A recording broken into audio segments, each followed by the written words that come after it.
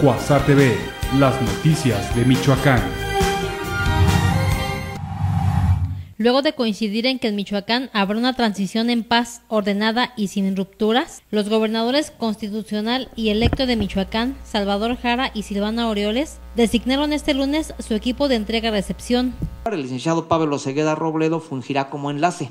El ingeniero Moisés Pardo, aquí presente, Fue designado secretario técnico de la Comisión de Entrega-Recepción. Asimismo, en la comisión he eh, resuelto que participen el secretario de Gobierno, Jaime Esparza Cortina, que también aquí nos acompaña, el secretario de Administración y Finanzas, Miguel López, muchas gracias, doctor, por acompañarnos, el secretario de Desarrollo Social, Horacio Díaz, muchas gracias también por estar aquí. Al de Desarrollo Económico, Carlos Fister, que no nos acompaña el día de hoy. Y al secretario de Comunicaciones, Jaime Camacho, muchas gracias por acompañarnos. Está el licenciado Adrián López Solís, eh, el compañero Pascual Sigala, la doctora, doctora Silvia Figueroa, la maestra Rocío Beamonte y Carlos Maldonado. Son cinco compañeros, desde luego apoyados con el equipo que estamos trabajando el tema, pero ellos serán, ellas y ellos serán eh, el equipo de enlace en esta etapa. Bueno.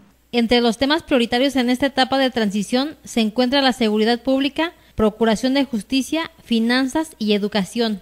Esta última, dijo Silvano Orioles, por sobre todas las cosas. Para Cuasar TV, Sandra Sáenz. El gobernador electo Silvano Orioles Conejo y el secretario de gobierno actual Jaime Esparza Cortina se pronunciaron en contra de que en Michoacán se alente la justicia de propia mano, al referirse a los dos presuntos secuestradores que fueron colgados en un puente de la autopista de Occidente por pobladores de Ucareo. Tampoco conviene alentar desde cualquier otro ámbito a que los ciudadanos hagan justicia por su propia mano o quieran asumir las tareas que le toca al gobierno. Ni debe eh, tratar de hacerse justicia por su propia mano, que deben sujetarse a lo que señala la ley y en este caso esperar a que el juez de los autos eh, resuelva la situación jurídica de las personas que están consignadas. A pregunta expresa de por qué no se actuó ante la serie de denuncias que había de pobladores sobre secuestros y robos, el gobernador constitucional Salvador Jara Guerrero negó estar a favor de los delincuentes, mientras que el mandatario electo Silvano Aureoles recalcó que la seguridad de los michoacanos será responsabilidad de su gobierno a partir del primero de octubre. Para Cuasar TV, Sandra Sáenz. El secretario de Gobierno de Michoacán, Jaime Esparza Cortina, descartó el crimen organizado como móvil del homicidio de las cuatro personas que fueron localizadas ejecutadas en el municipio de Zamora. De los cuerpos de cuatro de Zamora está la investigación llevándose a cabo, pero todo parece indicar que no es un motivo de delincuencia organizada. ¿eh? Hay algún indicio por ahí que se trata de alguna cuestión de otra naturaleza. Las cuatro personas, entre ellas dos mujeres y dos hombres, fueron localizadas la mañana del domingo sobre la brecha Miraflores de la población de Ario de Rayón, perteneciente a este municipio. A simple vista presentan heridas producidas por proyectil de arma de fuego y ninguna portaba alguna identificación por lo que fueron enviadas al servicio médico forense en espera de que sean reclamadas por sus familiares.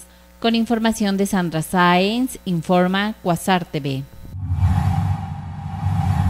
Ante las fuertes lluvias acompañadas por viento y granizo que se han registrado durante las últimas semanas en Michoacán, el gobierno del estado se mantiene en alerta para apoyar a la población en caso de algún desastre, informó el gobernador del estado, Salvador Jara Guerrero. Estamos en alerta, estamos con mucha comunicación y estamos con un programa muy fuerte de prevención.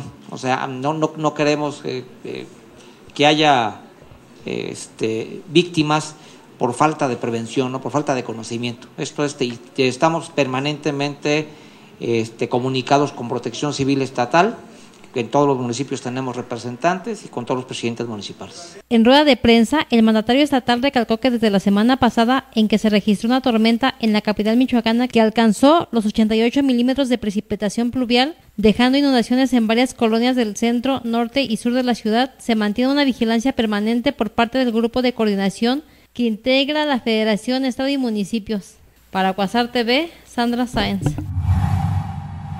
Con la participación de 30 criadores de ganado de ocho estados de la República, que expusieron más de 500 cabezas de ganado bovino de distintas razas como cebú, suizo, europeo, suizo americano, charolais, cimental, beefmaster, angus, limousin, así como ganado ovino y caprino. La Expo Ganadera Michoacán 2015 fue un rotundo éxito. Participaron cerca de 30 creadores de ganado de ocho estados de la República, Jalisco, Veracruz, Tamaulipas, Puebla, San Luis, Guanajuato, Tabasco y Michoacán. Y en cuanto a la venta de, sementales, el, el promedio fue de 37 mil pesos hubo mucha aceptación de los ganaderos. En el marco de la Expoferia Ganadera Michoacán 2015, se otorgaron apoyos a ganaderos michoacanos para la adquisición de 362 sementales bovinos, lo que permitirá el mejoramiento genético de los atos ganaderos de los beneficiarios. Con información de Sandra Sáenz, informa Quasar TV.